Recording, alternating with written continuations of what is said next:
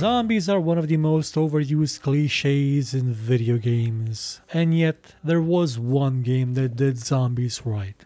One game that will always do zombies right. Doesn't matter how many zombie games come after it. This game will have always done zombies right. Because let's face it, after a billion clones, you're kinda not all that excited about Left 4 Dead, are you? Or about pretty much any other zombie game, but but not Stubbs. Stubbs the Zombie in Rebel Without a Pulse is the single greatest zombie game ever made. And it is so for three main reasons. One is that you are not some soldier or survivor or some last first hope of the universe to save the world from zombies or you're not any of those. You're a zombie. You're not the evil malevolence stalking in the shadows must consume the world with its evil zombie. No, you're you're Stubbs. You you got killed. You somehow woke up. You don't really know what's going on, and um, you suddenly find out that you know humans are kind of tasty, aren't they? Yeah. And the game escalates from there. It becomes a marvel. One that didn't have a really big budget. It was made by Wideload Games, which was founded by a few people. One of them used to work at Bungie. He worked on Halo. He worked on the Myth series. And he wanted to make a studio where you didn't really need to spend, you know, billions and billions, well, not billions, but you didn't have to break the bank with the budget to make a game that will still sell. And contrary to popular belief, Wideload did not go bankrupt or anything. It was bought out by Disney, and Disney then, you know, Disney did. Stubbs was its first game, and its most successful because I've honestly really not heard much about any of the other ones. So that was one reason why Stubbs the Zombie was, and still is, the greatest zombie game ever made. You playing as a zombie. The second reason is escalation. A way in which Stubbs really never manages to become stale, never manages to outstay its welcome, is that it constantly changes things. You begin as a single lonely zombie trying to figure out what happened. Where am I? Why are there robots everywhere? I can't eat robots, can't I? No, I cannot. But the humans, they are tasty. And from there, it escalates. You're not gonna be a lonely zombie for long because you're contagious. You make other zombies. So while in some situations you may be fighting on your own against police,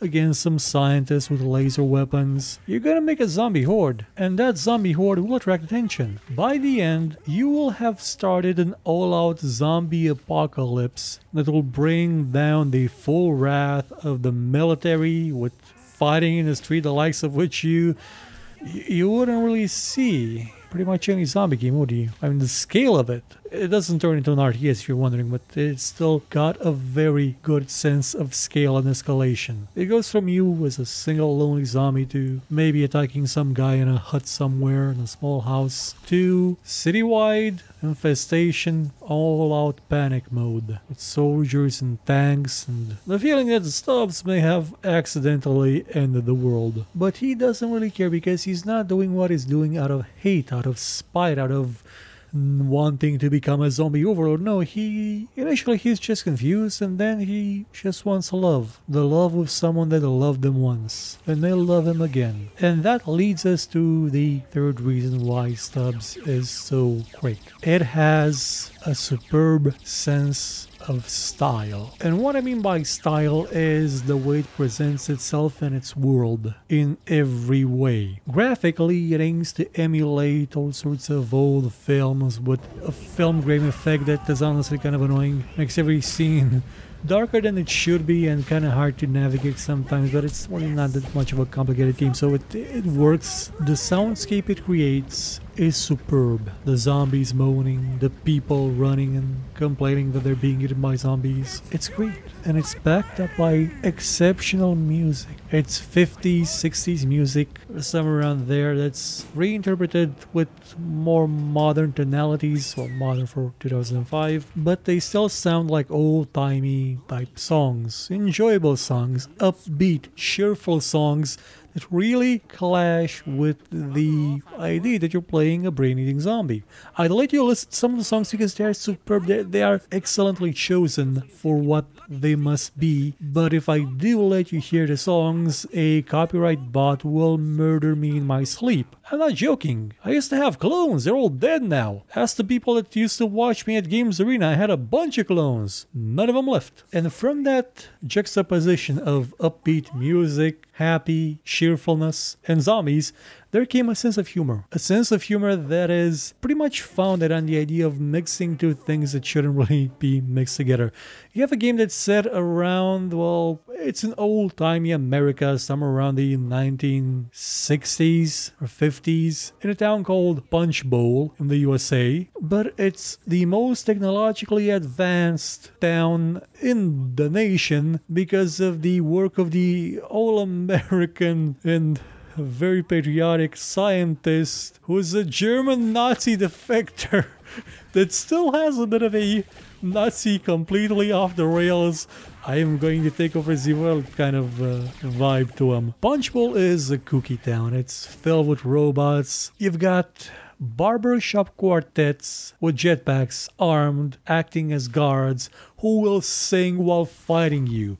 At one point, you have to um, you have to you have to defeat somebody in a dance off which is quick time event driven so it was only all that super but hey, it was it was right and the jokes kept coming the situations changed it, it it's a game that did not waste time. Which is good because it did have some problems. Uh, I actually don't know if this was certainly a problem back then, but the version I have now certainly has a few issues with controls. Uh, any special ability you want to use is delayed. For example, if you want to throw your pancreas at people so it'll explode, you gotta mash right click like five times for Stubbs to realize, oh, you want me to reach into my abdomen, grab my pancreas, and throw it at somebody. Oh, okay. You can also detach your head and roll it around like a bowling ball, infecting and knocking over people. Or you can, you know, Stubbs, uh, he's been dead for almost 30 years, but he still has intestines, and the thing that's in there, whatever it is, the putrid remains of whatever it is he ate or whoever he ate, when released,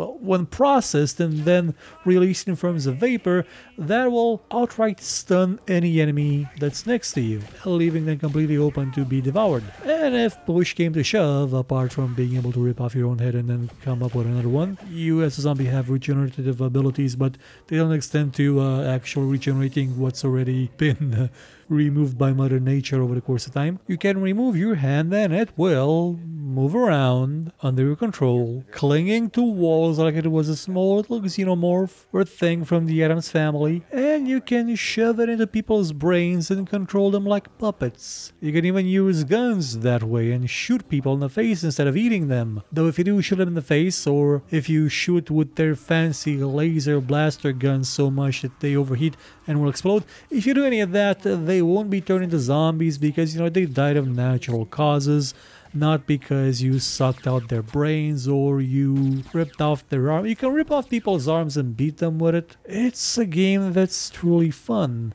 And you're probably wondering, wow, that, that sounds amazing. Why am I only seeing such a small portion of it on, on the background? Did you get lazy and didn't play all of it again? Well, I actually couldn't get the game. It's not on sale. Uh, there were some issues, I think, with the DRM it had, and also I think the licensing for the music may have gone poof. So you can't buy it anywhere anymore, which sucks, but the demo's still out there, and that's what you're seeing in the background. That's the demo. It's it's a very, very small demo, I would say. At best, it's 30 minutes of gameplay in which uh, Stubbs rides in on a sheep and then proceeds to try and relieve himself in Punchbowl's water supply because he really wanted to find a bathroom. And to be fair, it's it's one of the scientists that gave him the idea of you know relieving himself in the uh, the water supply. And he will go on to do a lot of crazy stuff over the course of the several days in which he plunges the city of Punchbowl into other chaos to the point where it. I won't give you any spoilers, but it. It ends very dramatically. And even so, even though it is a story about a zombie wrecking stuff up, it still has heart. It still has emotion in it. It still has characters. And Stubbs himself is a character. He's brainless, he can't talk, he really doesn't seem to be able to tie his own shoes. He'll probably eat them. But you can see the gears turning in his head with how he thinks, with how he wants to achieve his very, very simple objectives. But again, a game is very much a comedy. I mean, it is a place that's filled with robots. Really kind of asshole robots who you kind of get the sense that they're they're capable of doing more than they're programmed to, but they won't really lift a finger to help humans against the zombies unless you outright attack them. And they are a good source of comedy all throughout. I can't really say where you can go and get the game because I didn't find it, but if you do find it, yeah, absolutely play it. To make it clear, it's not the greatest game ever made, but as a zombie game, it is still funky fresh and totally awesome. The fact that we haven't had anything like it is downright sad. It doesn't even need to be with zombies. Make it, I don't know, an alien parasite infestation thing maybe. Look, come to think of it, I guess the, the, closest thing possible that we did have was maybe prototype because it dude has that sense of escalation to it. Only there is no permanence in what you make. Like you can make infested people of your own to go and attack others, and so you know I guess I guess that rules our prototype too. It just goes to show that there can be more done in the zombie genre than what we've been doing for the past 10 years since The Walking Dead became famous. And this was made in 2005, before the zombie craze even existed. This was a game made because somebody loved zombie movies, the old zombie movies with Romero's Dawn of the Dead and Dead of Dead and something of the something dead. This wasn't done as a cash, it was made even before Dead Rising. And that makes it so completely non-derivative that it makes pretty much every other zombie game just seem derivative. The ones in the last decade at least. You kinda wish that Somebody would try at least remake it, but the rights are now, I guess, in the hands of Aspyr or Aspyr. I don't know how you pronounce their name, or maybe Disney has it, but I think it may be Aspyr. I would like a sequel. I would like any game to try and do something similar to Stubbs Zombie, and who knows, maybe Someday we'll get it. Until then, give Rebel Without a Pulse a chance. If you find it, absolutely play it. You will never regret it. Oh, but one thing absolutely do change the executable's name to cod.sp.exe because the game is made to run with OpenGL and it sort of breaks the limitations of what OpenGL, that version of OpenGL should do, so it can't actually run on modern systems. But hey, guess what?